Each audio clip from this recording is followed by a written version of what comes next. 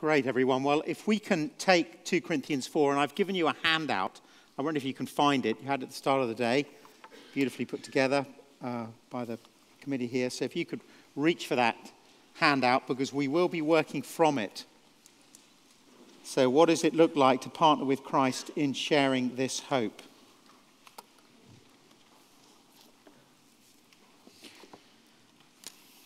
And just as we uh, kick off, just a couple of thoughts on this morning. The first is you, you, you say, look, Rick, I, you know, brother, I do believe that stuff about hell. I don't know how I start a conversation on it without it being terribly difficult. I'll tell you what I do. I, so in my bag, as you know, I always carry out my X Out Loud book. Um, just to saying, can we be a safe place for these dear brothers and sisters? Will you let that happen? The other thing I always carry in my bag, I, I, I carry a, a, a cigarette packet. And uh, actually, I just want to say, Dano, thanks for lending me this. I'd lost mine, so I just appreciate that, bro, very much. But, um, and I, I get this out, and I, I say to people, I say, look, mate, it's quite difficult to say this because the, the, friendship's important with you. So what I say now could be difficult. So I always, before I say something, I, I establish the friendship's important because I know I'm crossing a pain line and risking a, fr- a friendship. And then I get out my cigarette packet and I say, if, if I was here smoking in front of you, I think if you were a friend of mine, knowing the danger that there is in smoking, you might say, Rico, are you sure about that? I mean, you're a fat old boy anyway, but you know, are you sure about, about this? I think if you were a good friend, you'd say, look, just a lot of people die from, and look what, and, and you'd say, look, look at the warning on the packet. And I, I then say to them, I say, look, just as there's a warning here, I, I want to tell you there's a warning in the Bible about whether you know the God who's made you and whether you've been forgiven. And I, I just am not your friend if I don't point it out. So I, I, I want to advocate that all of you leave here and go and buy some cigarettes and keep them on you. And, and just use that. So I use that just to bridge into, just to cross the pain line on that. Because as a good mate, you would mention the smoking. And Dano, I want to say you must stop, brother. I just, I am worried about that. But I mean, but, but what, I'm, what I'm saying is that, is that, is that uh, that's how I get to hell with people. Uh, that's how I try and do that. I say, look, there's a warning here. It's a red hot warning. You've just got to decide whether it's reality or not. But I'm not your mate if I haven't passed this on to you. Uh, many years ago, when I was getting my third at Oxford, when I said to my tutor, was I close to a, a 2-2, he said, no, Rico, it was a very solid third. So I knew then that ordination to the Church of England was the only career option available. And, um, but I, I, um, I played rugby with the university, and I, I, one time I gave a sermon I, I'd preached, John 1, verse 29, Behold the Lamb of God who takes away the sin of the world.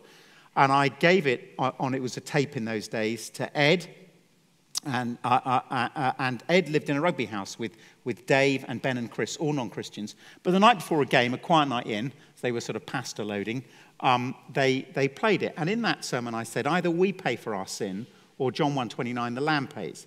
And as the sermon was being played, Dave, who was the captain of the Blues team, got more and more cross.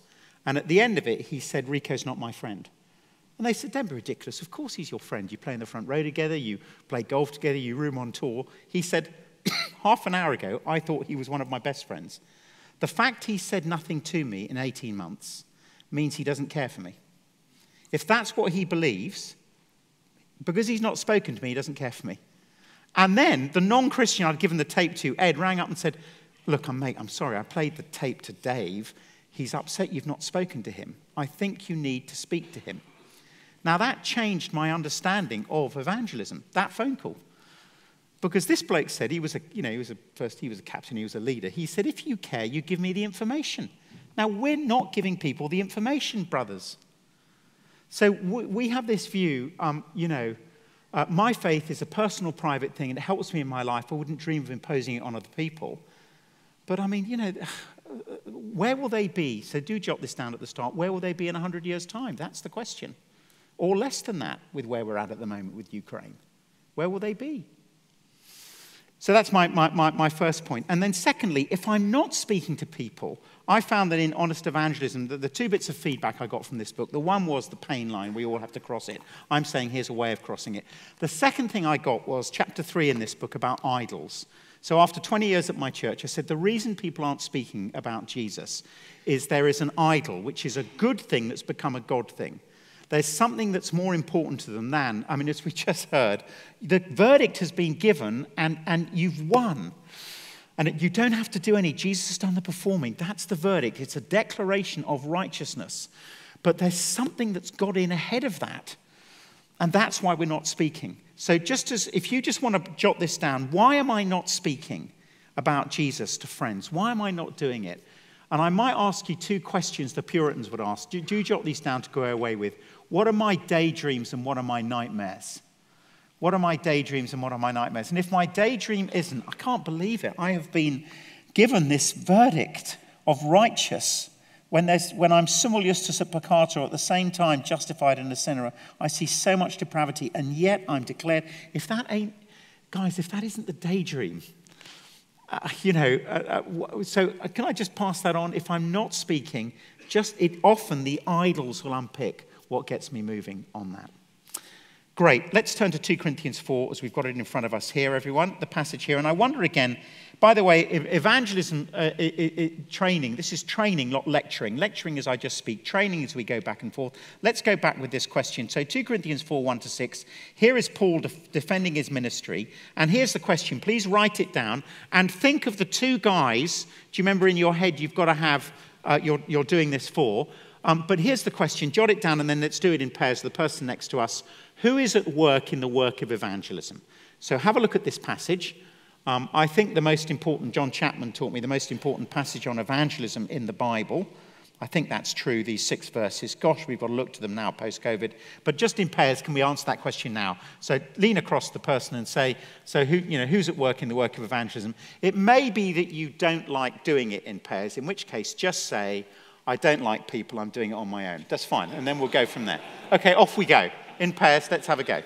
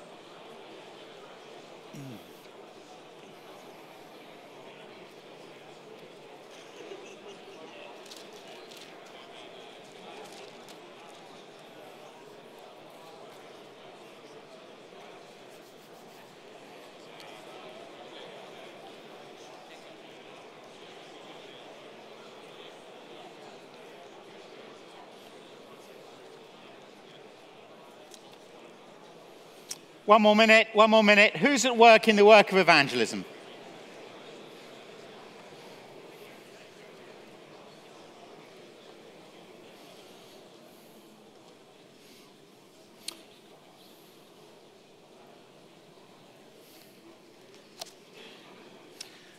Great, what have we got there? So remember, some of you will know this so well, but think about the two people you're, you're training Think about how you teach it to them. That changes the listening because you're a river, not a reservoir. Let's always be doing that. Um, off we go. If, someone shout out, who's at work? What have we got here? Who does what from these verses? Anyone give me a verse and, and, and what's to be done by whom?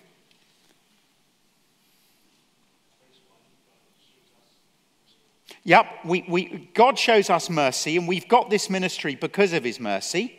Yep, that's what, what, what, so there's a ministry. Now, what's the ministry? We're, we're told there's a ministry. Which verse outlines the ministry? Which verse tells me what the ministry is? Verse 6 tells me what God's ministry is. Do we see verse 6? Now, jot this down, everyone. You have got to teach this to others and get it, get it for yourself. Uh, for God, who said, Let light shine out of darkness. And what I always ask there is, where is that? Where does it say, Let light shine out of darkness? Where is it in the Bible? Genesis 1. So jot it down. So the God who in Genesis 1 said, Let there be light, this is what God does, made his light shine in our hearts. So he took the power that made the world and he shone his light into our hearts. He didn't create us, he recreated us and jot this down and got us to see the glory of God in the face of Christ. In other words, he got us to see, jot it down, that Jesus is God. So, so conversion, now here's the big word, is a miracle. And it's a miracle in which God shines his light into my heart and gets me to see that Jesus isn't a swear word or a figure of history or a great moral teacher. He's God. And if you believe that, it's because God's done a, miracle in you. So, you know, when you meet someone and, they, and their testimony is, you know, they say, say, why are you Christian? You say, oh, well, I just came from a lovely Ulster Christian home, had a lovely Christian mum, that's why I'm Christian. Do you know what you have to do? Very gently, don't do it inside. Take them outside, put your arms around them, and headbutt them. The reason you're Christian is because God did a miracle. I've got relations in my family, I can think of one, stone cold atheist. I mean, I can't think of another way of trying to tell them. We need a miracle. Isn't it true for you? People you know? It's a miracle we need, and that's why you're sitting here. In God's grace, the reason you're here is God did a miracle, maybe when you were a little one, and opened your blind eyes because you were, Ephesians 2, verse 1, dead in transgressions and sins. So, what does God do? He opens blind eyes. That's what He does. What else have we got here? That's what God does. What, who else does what? Let's have some more as we look down. Yeah, we're to set it. Which verse tells me how to set it forth? What is the job description of evangelism here? Someone give me a verse. We are to set that. What's the truth we're to set forth plainly? Which verse encapsulates it? Verse 5 do you see what it says, verse 5? We don't preach ourselves, but Jesus as Lord. So we preach Christ. I wonder if we can stick that up on the screen. So here we are. This is the job description of evangelism. We preach Christ, and God opens. So, that, so here's the power. We preach Christ, God opens blind eyes. Please write it down. That, that's what it's about. My job is to speak of Jesus. And by the way, we preach of Jesus as Lord. So, uh, the problem I've got with the Archbishop of Canterbury, Justin Welby, is that because he won't ask people to repent of same sex relationships, he speaks of Jesus a lot, but not as Lord. So that his Jesus is different from my Jesus. The Jesus I speak of says you've got to repent of all sin, including sexual sin. What we do with our hands and feet matters to God. But Justin Welby says, no, there, there, are areas you don't have to repent. And the Church of England, my church, is going to break up over the next 10 years over that word, repentance. We will break up over that word. But you see, what's interesting is we'll keep preaching Jesus as Lord. We won't lose our nerves because God is the one who opens blind eyes. So I'll keep saying it. However controversial to the culture is, I'll keep saying, by the way, here are, here are 40 people whose lives have been transformed and they want a safe place now. So, so the gospel does its work. We preach Christ, God opens blind eyes. And we preach Jesus as Lord. Right, as we look back down, we, we've had a bit of it. How do we? So here's the next question in pairs. Can we do this again? So take this away and, and, open this with people. But here's the second question. Number one was who's working the work of evangelism? The second is this how do we preach Christ? Back over to you, just in pairs. There are at least four applications on how to preach Christ. Let's see if we can dig them out for a minute. How do we preach Christ? There are at least four things said here on how to do it. Again, I'm taking this passage away and going to be using it back home with others. Off you go. How do we preach Christ?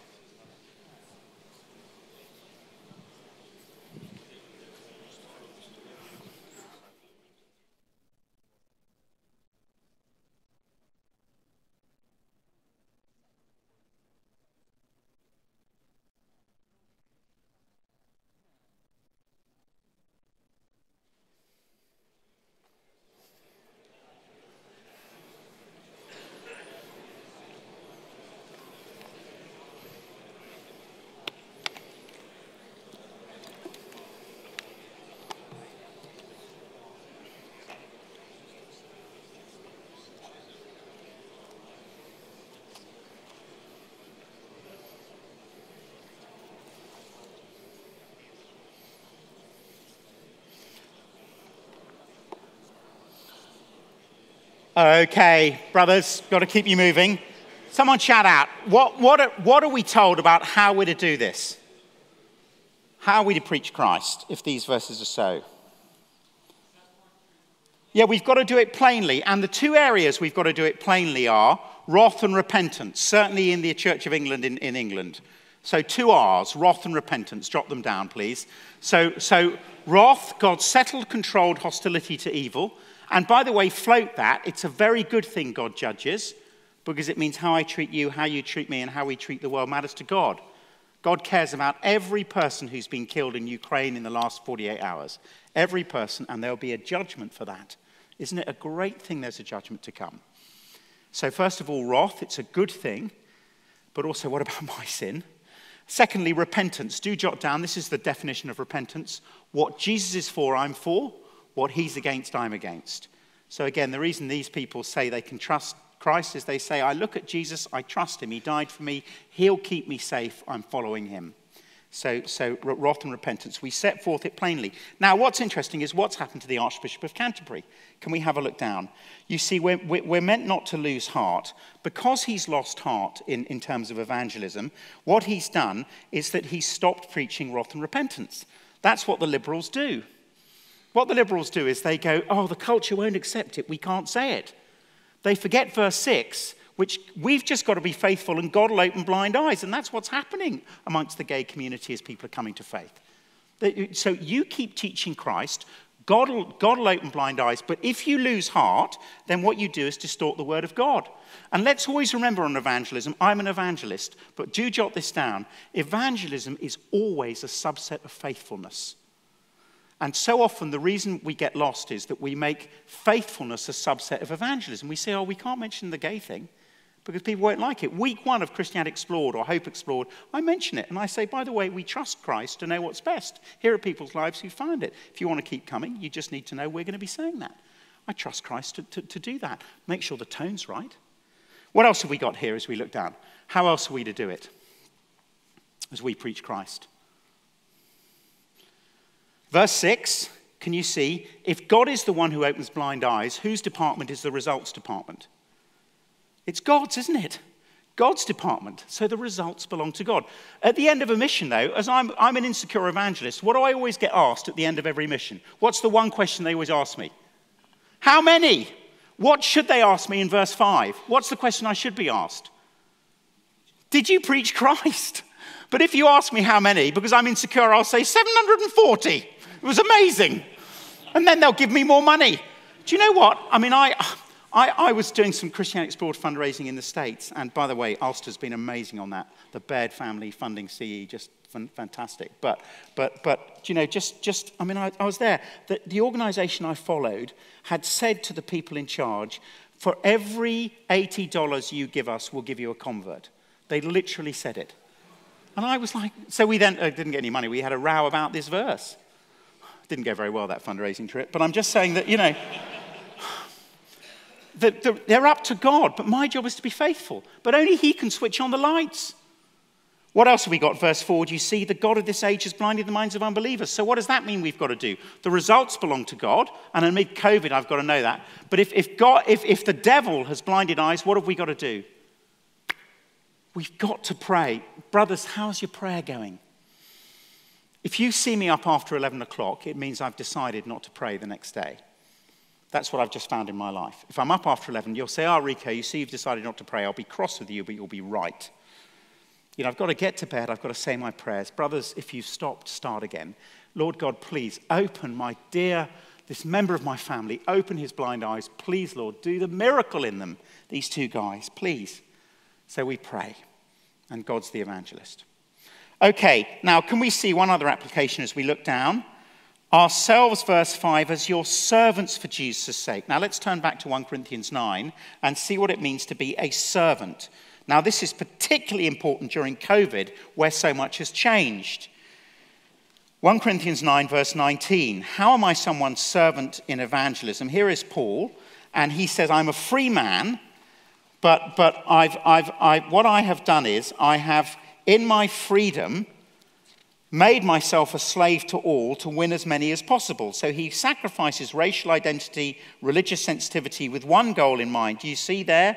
To win as many as possible. Though I'm free and belong to no one, I've made myself a slave to everyone to win as many as possible. Verse 22 To the weak I become weak to win the weak. I become all things to all people, so by all possible means I might save some. So please look at my hands. Here's what I do in evangelism my right hand is rock solid on gospel truth and doctrine. I do not give way. Whatever the issue, I don't give way. I know Jesus knows best. I'm going to stay faithful.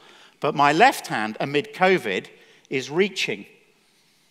So, and this requires, write this word down, please. Here's the word energy. Energy. So, with God's sovereignty, we need Him to open blind eyes. I need to pray. With integrity, I need to tell the truth.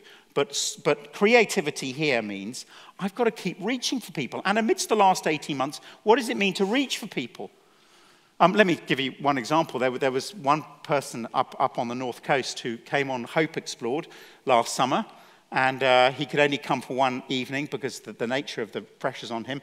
And then we read the Bible together online. We rang each other um, uh, probably 30 times over the last um, uh, six months.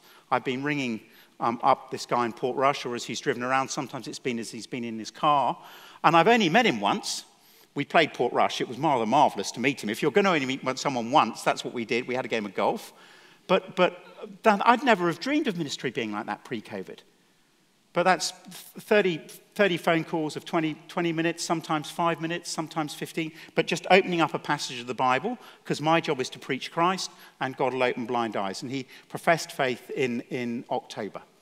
But it was just the Bible, the Bible, the Bible. But online, I've only met him once. But you see, that's what it is. So you see, we pray, we tell the truth, but we've got to reach. What does it mean now to be reaching for people? And if we can go back to our, our, our bits of paper here, here we are. Let's, let's see those three themes. God's sovereignty, that means God has to open blind eyes. Acts 17, he's the sovereign. Gospel integrity, I've got to tell the truth. I can't be like Archbishop Welby, who won't tell the truth for fear of the culture. I can't. He does believe in Jesus, but he won't speak of Jesus as he is. It's desperate. Pray for him. Thirdly, creativity. I've got, to, I've, got to be, I've got to have energy. I've got to reach for people. And over the page now, brothers, let's turn over the page and see how this works for you personally in your church. I want you to do this exercise. What happens if in my evangelism, and these are the great three gospel themes, okay, these are the three principles of evangelism.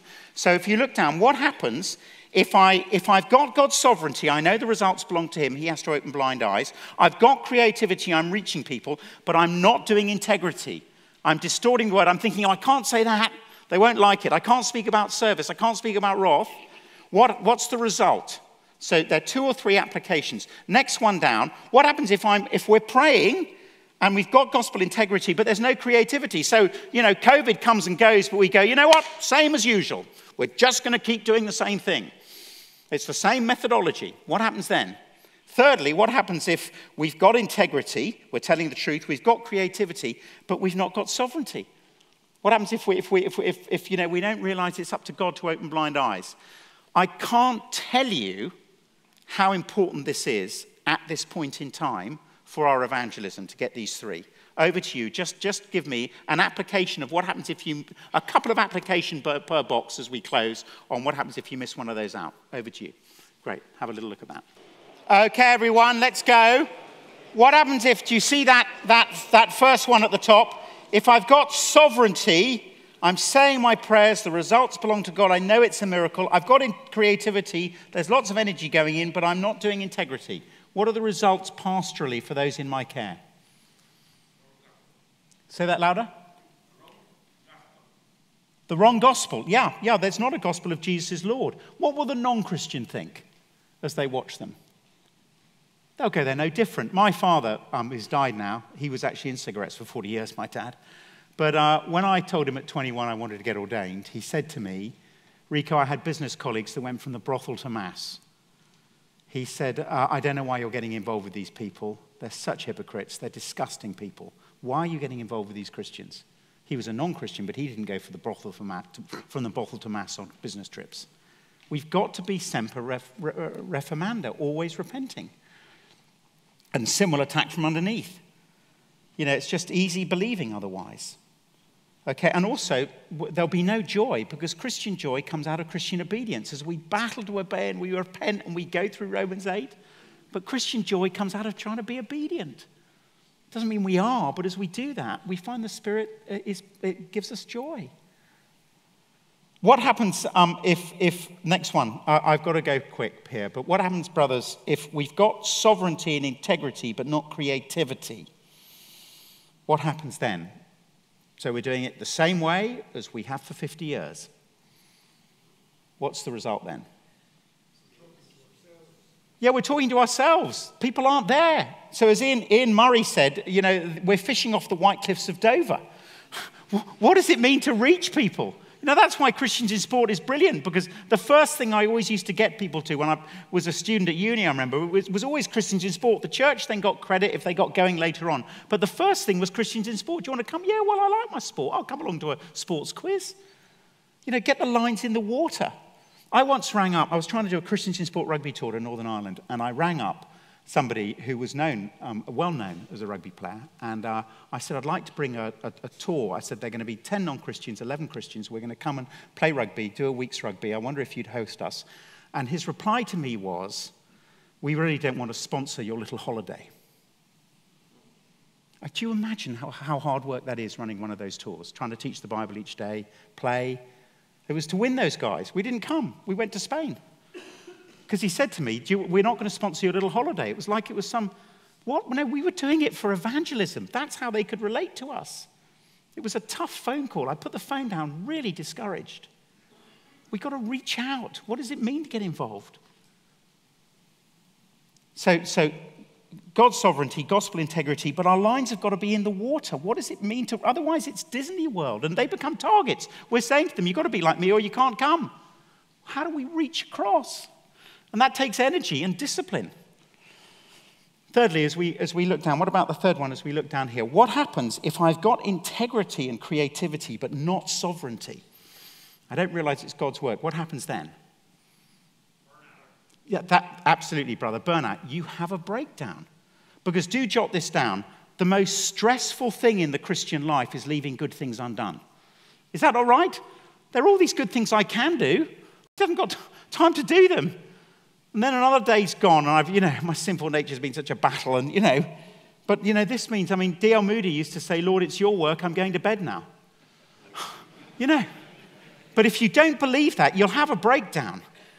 So it's God's work. And you see, and that means, you know, as an evangelist, if you don't believe that, by the way, if loads of people get, get, get converted, what happens? You're proud. If none get converted, you're discouraged. Can you think of anything worse? A proud middle class Englishman. It's terrible. So what I'm saying is, you know, you, it's got to, you've got to get sovereignty in place. Now, of those three, brothers, look down. Which one's your weakness? Is it that you're not believing, that, that you're not praying and knowing that it belongs to God, it's His work? Is it you're not telling the truth? You know, you maybe need to get a cigarette packet and start, start actually, you know, saying, what about that? Or is it, as you look down creativity, there's just, you're just not doing the energy? What's going to change in COVID? How do I, what do I do? Start going for walks? How do I connect with people? I love Roger Carswell, who, who, who's uh, an evangelist in the north of England. He said, The best mission I ever did was in the New Forest, where at this church, if you joined the church, you had to join a local group as part of the criteria of joining. He said, So everyone once a week was basket weaving or bowls club, and, and then they all came along. Certainly for me, with Christian workers at All Souls, as we recruit them, that, that we have the following criteria Are you reading your Bible each day? Because if you're not, you're not going to keep going. Secondly, are you having a day off? Because we don't break God's laws, they break us. We'll have a, you know, eventually. Roger said to me, I didn't take a day off, and then all the days I didn't take, I took in a row. You see, we'll have a, we'll have a breakdown. Uh, but thirdly, are you doing something regular with non Christians? I do chess club, 8 o'clock every uh, Thursday morning with the kids. We, I do chess club and just see what, what the Lord gives me in His sovereignty. So those, those, those are there. What is the big issue on creativity as we close now, I think, for us? What is the silver bullet? And I'm a course guy, but what's the silver bullet for us, certainly in London? I don't know about here. Can I tell you, it is, it is without question one to one work. It's the relational going at the moment to Christians and non Christians, and then saying, Can I get the Bible open with you? I want to finish today by saying, and so if you look at the back page, Can you see the word one to one? I, again, I don't produce the word one to one, but I, I think it's wonderful what Richard Borgonon's done. Here is the copy of it, but there you read through. If you can see the back page, brothers, you read through. Uh, you say, why don't you read the, the passage of the Bible? And then you're not a Bible teacher, you're a sharer. And then you just, you just read through the comments on it and say, what do you make of that? But we just get the Bible open with people. So we're, relation, we're relational, it's confidential, we're, we're, with friends, but then we cross the pain line and say, Would you like to look at the Bible with me? Talking Jesus says, this was pre pandemic, that one in five people who like you would like to do it. So 80% rejection, but 20% would like to do it. And just, you know, what I'm trying to train the men to do at All Souls is just get the Bible open. They all get two copies of Word One to One and, and just get it open. And just say, Look, do you want to have a look? And a lot of people will say no, but some people will say, yeah. Yeah, there's probably a nuclear submarine parked off Cornwall. I think I'll have a look. So, guys, that's what, I, that's what I'd say. But as you go away, can I say evangelism is always these three? It's always God's sovereignty, we've got to pray. It's always gospel integrity, we've got to tell the truth. It's always creativity, we've got to reach out. And I think the big way of reaching out now is this one to one. And often, I think in, in, in Ulster, people weren't raised with it. You got it by osmosis with your lovely parents and families, just got taken along. There wasn't the intentional, let's get the Bible open one to one. But the new thing that I think the generation needs, certainly back in London, is this one to one work, journeying with people. So, again, this guy I, met, I read with up on the North Coast, probably 25 times, 30 times, we phoned each other each week, 20 minutes just looking at the Bible. Sometimes he'd be driving in his car but we just kept opening the Bible. And as we preach Christ, God opens blind eyes. Let's pray.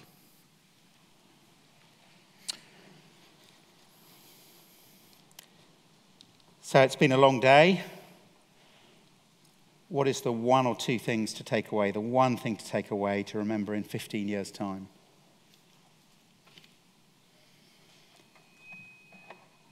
Father, in all of this, we pray for the glory of the Lord Jesus. Please, may, your, may we honor your Son.